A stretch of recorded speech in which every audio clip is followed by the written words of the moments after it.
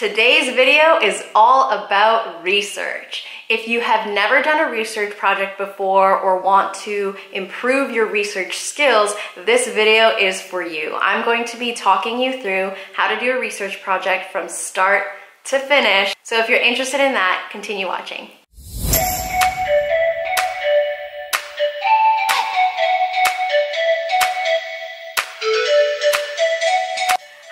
Everybody, welcome back. As you know, my name's Karen and I am a UX designer who transitioned about a year ago.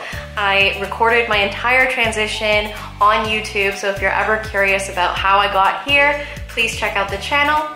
For today, we're going to be talking about research because I was made the research lead for one of the projects at my company. I've always had a pretty strong research background, but this was the first time that I was managing a group of people and really, really taking the reins for a client project. So what I wanted to do today was share with you the process that we went through and tell you step by step how you can run your own research project from start to finish. We're gonna talk about how to make a research plan, how to best set up your usability prototypes. We're also going to discuss interview guide, the difference between moderated and unmoderated tests. I'm also gonna share with you a way that you can analyze your findings. I'm gonna share with you how to present your findings in a slide deck. And then I'm gonna answer a couple of common questions questions.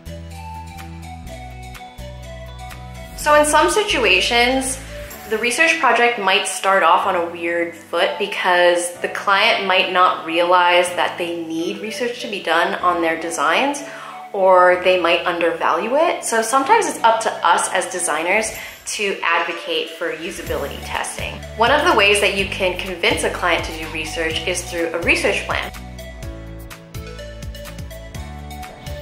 So what you have first is an introduction section. You put the title of the project, the date of the last revision, so this section will change every single time you access the document, and the names of all of the people working on the project with you.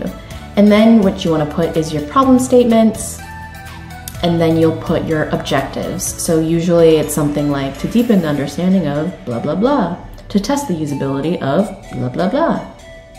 And then you'd have a section on your participants, like your target characteristics, how old they are, their gender, just things about them that you want to have. And then you'll have recruiting methods. So, how are you getting these participants? And then the incentive, if there is any. Next, you'll have the methodology section. So, this is just detailing you know how you're running the session.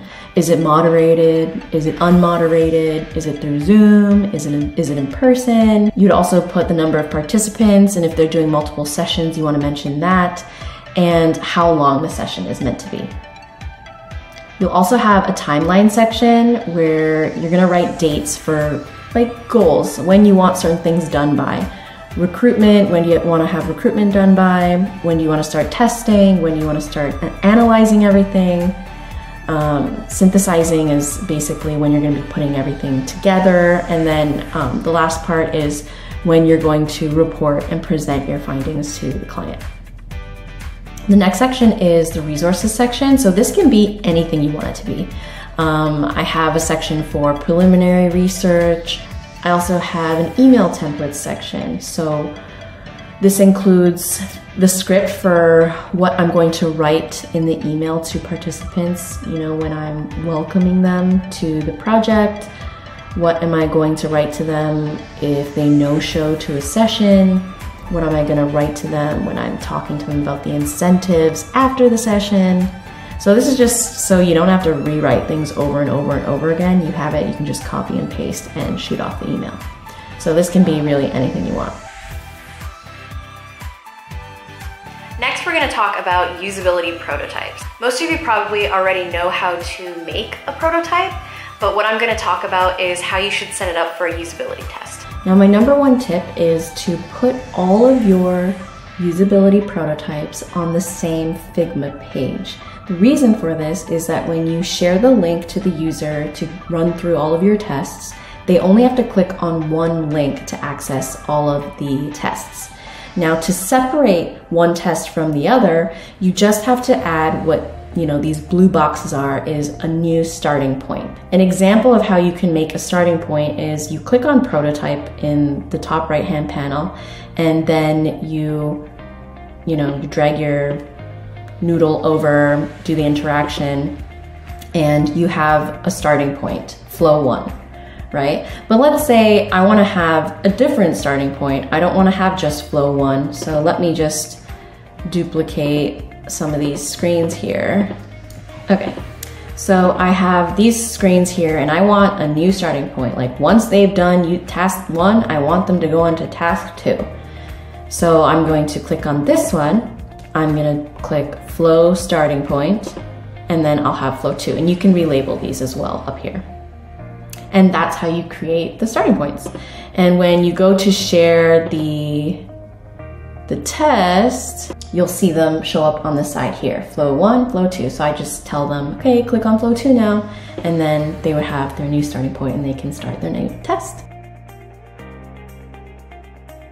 If you're doing usability testing, you're also going to need an interview guide. So I've created a basic interview guide template for you here, and what you're gonna start with is the participant's name, the session that you're on, and then you're gonna dive into the introduction section. So this is where you introduce yourself, you introduce the other team members, you ask the user to turn their camera on if they haven't already, you're gonna welcome and thank them for participating in the study, and then you're just gonna quickly remind them why they're there. So what is the goal today? What are they gonna be looking at? And then after that, I have a section for the prototype link. A lot of my sessions tend to be over Zoom, so I like to have a copy of the link so I don't have to go hunting for it during the research session. I can just copy, paste, and send it off to them. Then there's the very important part where you get permission to record. You just want to ask them, you know, is it okay that I record this session? It's only for note taking purposes, and just get that yes. After that, we go into the discovery questions. So this can be really whatever you need for your research. You could be asking their name, their job location. You could be asking them if they've used a platform like this before to tell you about their experience with it, that kind of thing. You just really want to get some background feel for the situation and to understand if they have any type of relative experience. After that, we go into the pre testing reminders before the actual usability testing. So these reminders include, you know, we're just testing the app, not you. You really want to make them feel comfortable and make them um, understand that they're not really being tested, that we're just trying to test the design. And you want to encourage them to speak out loud and let you know what they're thinking at all times. So that's kind of what this section's for. You really just want to make them feel comfortable and understand that they're there to help us. After that, we go into the actual usability testing part. And so here are two examples of an impression test and a usability scenario. So impression tests, I don't actually know if this is the correct terminology. It's just what I tend to call them. So this is when you show a user a screen and you just want to get their first thoughts. So here's an example of something that I would ask. I would say, take a look at the screen and tell me what you see. Feel free to browse or click around, though not everything is working in this prototype. If I need some more information from them, I might ask some follow-ups, which would be, what do you think you can do here? What do you think about the information you have access to on this page? Questions like that. An example of a usability scenario, on the other hand, um, I would put here what I'm testing, but I'm not going to actually tell the user that because you never want to lead them and let them know what exactly you're trying to get them to do. This is just for our reference only. What I would say to the user is, you know, the scenario. So you're looking for blah, blah, blah try to blah blah blah. The very last thing that you would do is you would just wrap up. You would thank them for participating, remind them about the incentive that you'll be reaching out if there was an incentive promised, and then you'll ask them if they have any final thoughts. So there are two main ways that you can do an interview. It can be done through moderated testing or unmoderated testing. So moderated testing is when you're meeting with a user or a participant live. So that could be in person, it can be through Zoom. Unmoderated testing, on the other hand, is done without your presence. So you could send them a link to something and they can do it on their own time, or you can use one of the usability testing platforms like Maze. To stay organized, it's very important to track your progress. So whether that's done in a Notion page, a Google Doc or an Excel page. You wanna have some sort of document that tracks all of your participants and what phase they're in. So did you schedule an interview with them? Has the interview taken place? Has their data been analyzed? This helps you know what phase you're in and what still needs to be done. One of the more difficult phases is the analysis phase.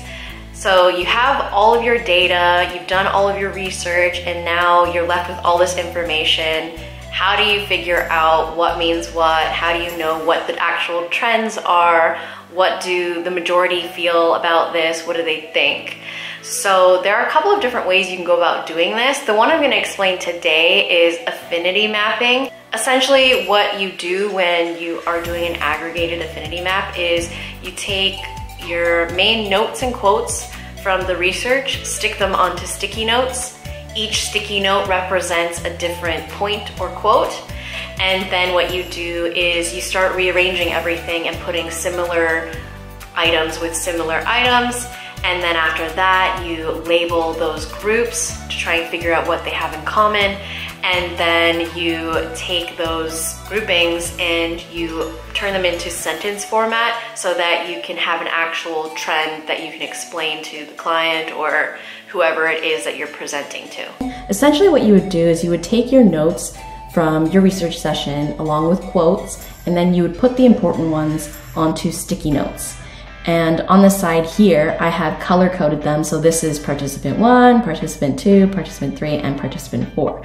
And I've color coded them for a reason, but it's not important at the moment.